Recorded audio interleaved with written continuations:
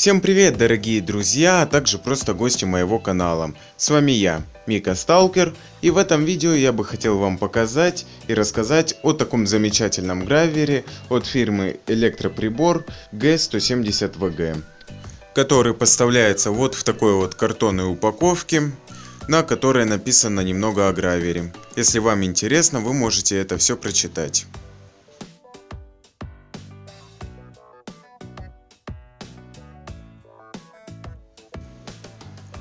Ну а сам гравер находится вот в таком вот красивом металлическом кейсе. Ну а сверху самого кейса прикреплен прозрачный пластик, что придает еще более красивого виду кейсу. Знаете, в некоторых крутых боевиках в таких кейсах переносят пачки с деньгами. Но в нашем случае в этом кейсе гравер. Давайте теперь его откроем и рассмотрим сам гравер поближе.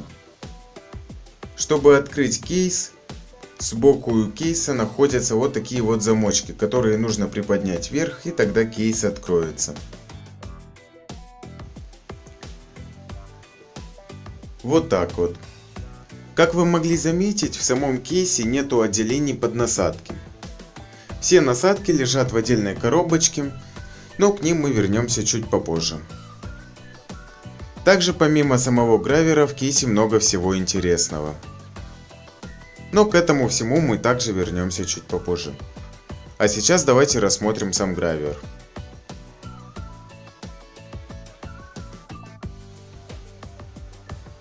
Гравер идет в голубом цвете, и длина его составляет около 18 сантиметров. Благодаря этому гравер очень хорошо лежит в руке и работать им очень удобно. Также на гравере присутствует регулировка мощности. Обычно я работаю на четверке и тройке. Так как я работаю с деревом, этой мощности вполне хватает. Если придется работать с металлом, гравер придется ставить на максимальные скоростя. Ну, так сильно издеваться над своим гравером я не хочу. Также имеется кнопка включения-выключения и вот такой вот металлический подвес. Гравером я пользуюсь больше трех месяцев и никаких минусов у этого гравера я не нашел. И надеюсь не найду. Сбоку гравера присутствует вот такая вот этикетка, на которой написано все то же самое, что было написано на картонной упаковке, в которой был упакован этот гравер. Также сбоку имеются отверстия под вот такие вот графитовые щетки. При случае поломки в комплекте были дополнительные графитовые щетки. Сейчас я вам покажу, как устанавливается насадка ну а потом я покажу вам все насадки, которые шли в комплекте с этим гравером.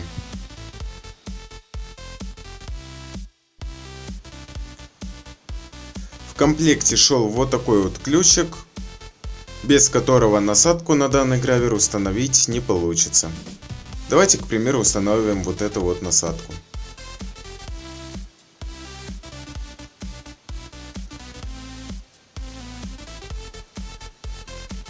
Для этого берем ключик,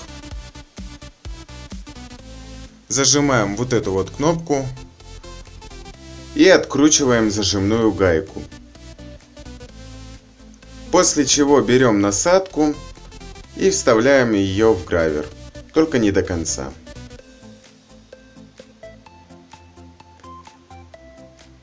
Все, ну а теперь тем же ключом закручиваем гайку обратно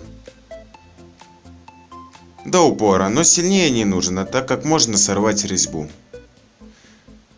Все готово, теперь можно подключать гравер к энергосети и использовать его по назначению. Но не сейчас. Так как сейчас я хотел вам показать все те насадки, которые шли в комплекте с этим гравером. Как я и говорил ранее, все насадки хранятся у меня в отдельном кейсе. Давайте на них подробнее посмотрим.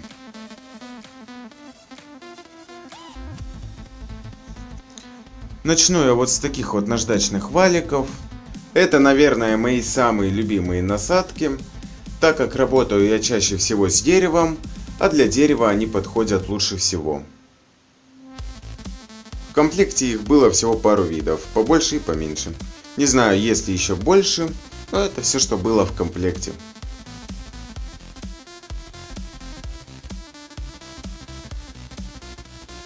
Дальше в комплекте еще был вот такой вот один отрезной диск,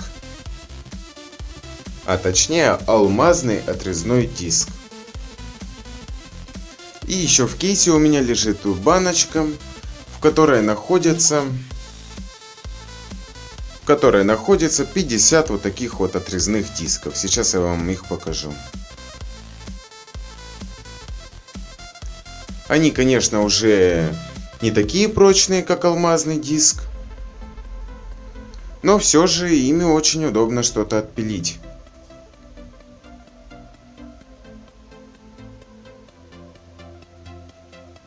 В общем, вещь тоже очень нужная. Ну, короче, отрезными дисками я тоже пользуюсь частенько, потому что, когда делаешь какие-либо макеты, все равно что-то где-то подрезать нужно.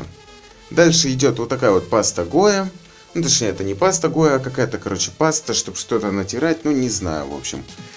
И к ней же идут вот такие вот войлочные диски. Одним диском я уже пользовался, только уже настоящей, нормальной пастой Гоя, зеленого цвета. В общем, гравером достаточно удобно полировать что-то. Особенно если это небольшая деталька. Намного удобнее, чем работать болгаркой. Ну, точнее, по маленьким деталям.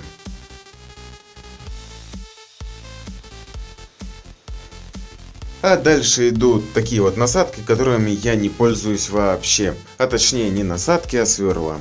Так как у меня есть шуруповерт, у меня есть дрель, и если мне надо что-то где-то просверлить, я, конечно же, лучше воспользуюсь шуруповертом. Но все равно сверла не лишние, спасибо, что они их положили сюда.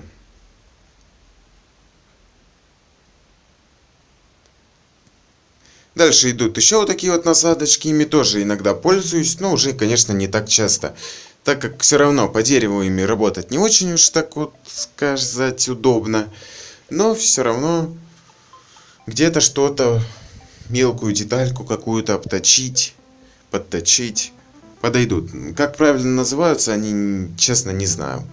Дальше идут еще одни прикольные насадки, это вот такие вот металлические и пластиковые щетки.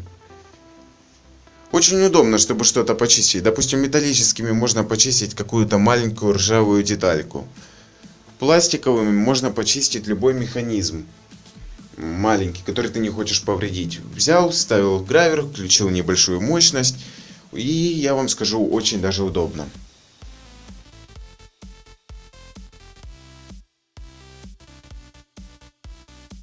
Так, ну а дальше идут вот такие вот диски типа камень. Ими очень удобно что-то наточить, допустим, нож или еще что-то. Вот этот вот прямоугольник нужен здесь. Я долго ломал голову, для чего он нужен здесь. Посмотрел в интернете, ничего не понял. Но я так понимаю, это когда стирается насадка, берешь, вставляешь насадку в гравер и проводишь несколько раз по этому прямоугольнику. И насадка опять становится шершавой, ей можно работать. Дальше идут еще одни мои любимые насадки, как у стоматолога. Различные алмазные насадочки, ими тоже очень удобно обрабатывать небольшие детальки. Я вам скажу, прям очень удобно. И вот такие вот еще насадки, ими я также очень люблю работать по дереву. Особенно этими двумя, которые поменьше.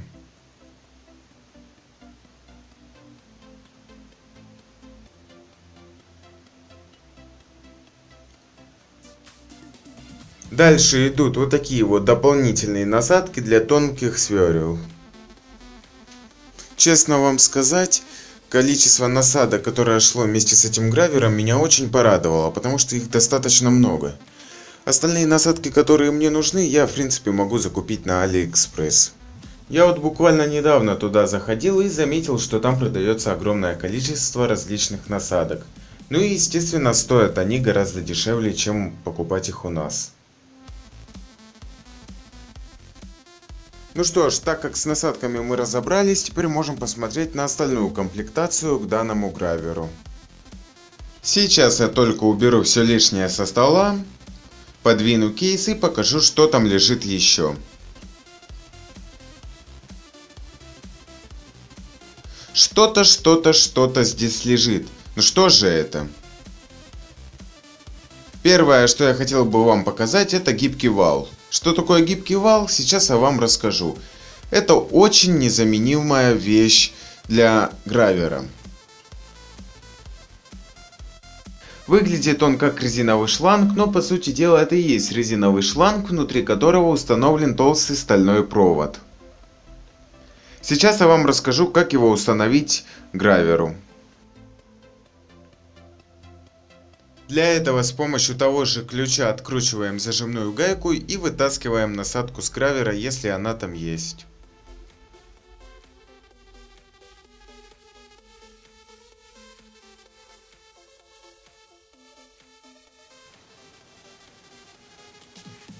Все, после чего откручиваем вот эту вот пластиковую крышечку и откладываем ее в сторону. Она нам пока что не понадобится.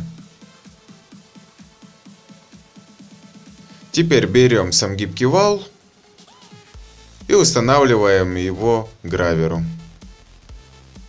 Так как показано на видео. После чего зажимаем зажимную гайку.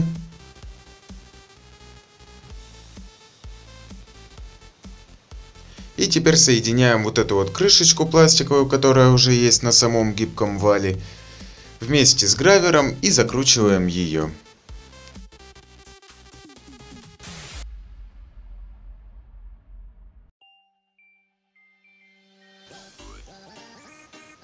Все, закрутили. После того, как гайка закручена, берем наш гибкий вал и оттягиваем вот эту вот пластиковую рукоять вниз, так как это показано на видео.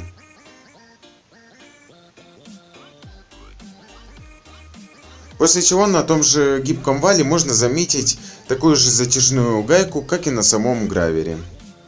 Берем и откручиваем ее, устанавливаем насадку и с помощью ключика или же вручную затягиваем ее. Ну, лучше, конечно же, с помощью ключика. Все готово, можно приступать к работе. Обычно я всегда работаю именно гибким валом, так как я говорил ранее, что работаю с большим количеством дерева, и чтобы не забивать э, свой гравер опилками, работаю именно вот гибким валом так как э, гибкому валу негде забиваться опилками, а даже если он где-то и забьется, его легко разобрать и почистить. Что не сделаешь самим гравером.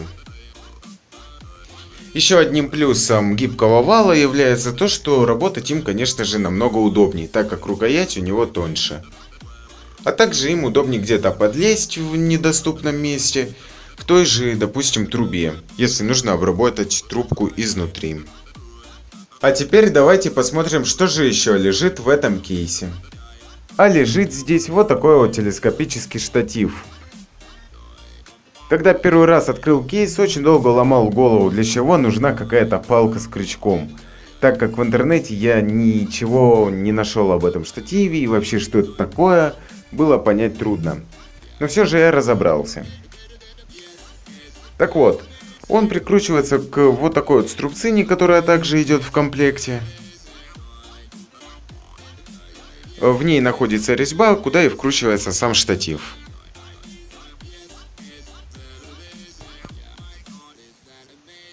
Ну а после того, как сам штатив вкручен в резьбу, э, струбцина прикручивается к столу.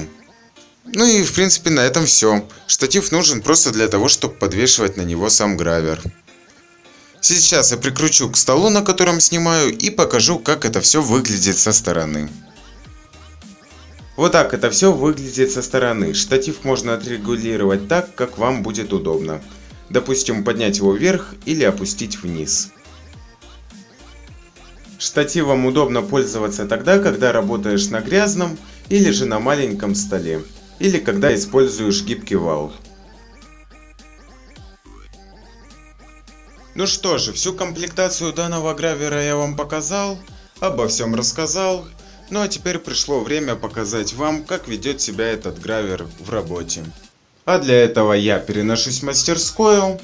Ну а вы? Ну а вы никуда не переноситесь, а остаетесь на месте и наблюдаете за процессом.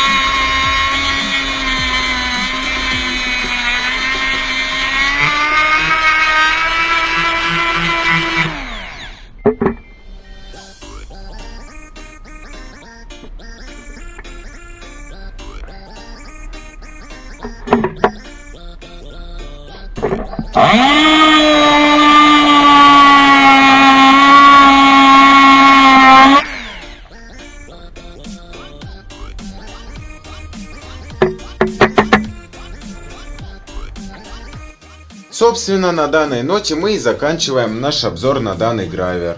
Вы увидели полную комплектацию гравера, увидели как он работает, как ведет себя в работе. И услышали мое мнение, то что гравер мне очень нравится. Ну а дальше решать вам, стоит ли покупать себе такой гравер или нет. Или у вас уже есть гравер, можете написать об этом в комментариях. Да и вообще не забывайте оставлять свои комментарии, ведь каждому комментарию я искренне рад. Ну а теперь информация чисто для моих подписчиков. Как вы могли заметить, видео я выпускаю сейчас очень редко, потому что испытываю некоторые жизненные трудности. Но со следующего месяца я обещаю вам, что видео будут выходить на канал так же часто, как и раньше. Ну а на этом наше видео подходит к концу. Не забывайте ставить свои большие пальцы вверх и конечно же подписываться на этот канал, если вы еще на него не подписаны. Ну а с вами был как всегда я, Мика Сталкер. И всем пока-пока.